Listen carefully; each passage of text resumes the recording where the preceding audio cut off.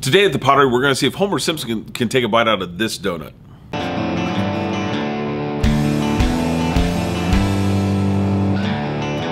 Hey class, Mr. G here. Welcome back to your virtual art professor here. What we're trying to do is we're doing a series on the Great Pottery Throwdown, and today's piece that we're working on is the donut. Now, the donut is where you're throwing a two-walled vessel connecting those two pieces at the top so that it has a sealed chamber inside of the clay. Now, my professor, when I started doing these in college, because brought out a book and he's showing the showing the class like these are the cool things that you guys can throw on the wheel. You can do this and this and this. I came across the donut design and I understood the concept of how it's done. And I was like, let me just give this a go. He was really skeptical. He's like, you, you're just started throwing.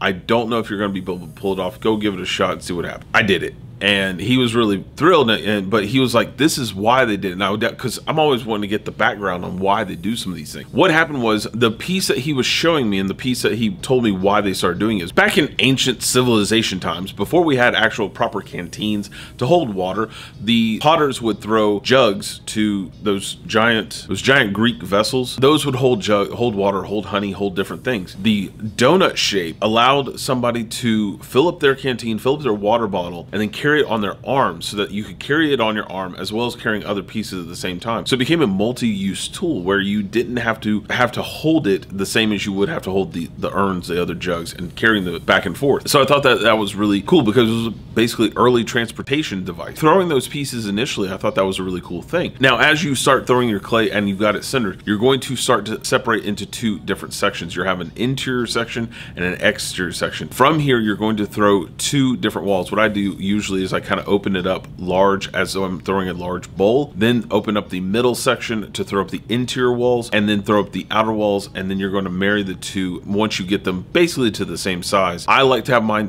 my seams more in the middle. Some people like to have theirs on the interior so that they're overlapping on the interior wall like this. Me, I'm more much more of a like one on top of the other in the middle at the top. Reason being is because I'm going I'm going to have certain thickness there that I'm definitely going to have on the bottom of it as well. So when I'm going into the trim phase, I can guarantee that that's going to stay sealed better. If I was trimming and it was on the interior lip uh, on the bottom when I flip it over, the pressure of these two pieces sliding together, I think is greater than the two pieces that are sliding at the very top. That's just my two cents on, on how I think those pieces go together. Now for the donut, I don't have my example still. I went ahead and recycled that couple days ago.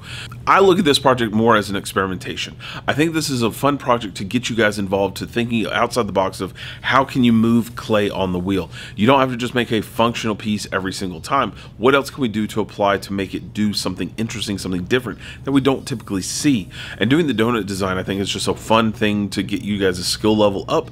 Uh, it allows you to make other things in the same time because if you did the interior wall, the exterior wall, and then kind of left it, but you left the interior uh, also in it as another bowl, you got a chip and chips and salsa dip bowl right there, man.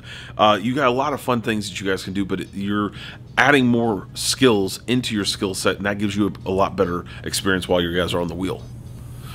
All right, that's where I'm going to be ending class today, guys. I hope that you got something fun out of this experience. Again, Great Pottery Throwdown, the people that I'm finding online on IG, go check out their websites. I'm putting all their links and descriptions below, as well as uh, the Great Pottery Throwdown. I think they have a YouTube channel even go out there, show some love to these guys, try and get pottery more into the into the wheelhouse of everybody that we come across. I love clay; it's my thing. I definitely want to do more of it, and I definitely am going to continue to do more of it. So pausing on class today. But before we go, let's go not forget our homework, which is like, subscribe, share on all the various platforms. Get the message out there to as many teachers, friends, students we possibly can.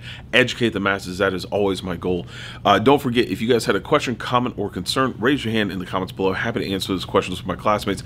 As always, I will see you guys next class. So until then, later, guys.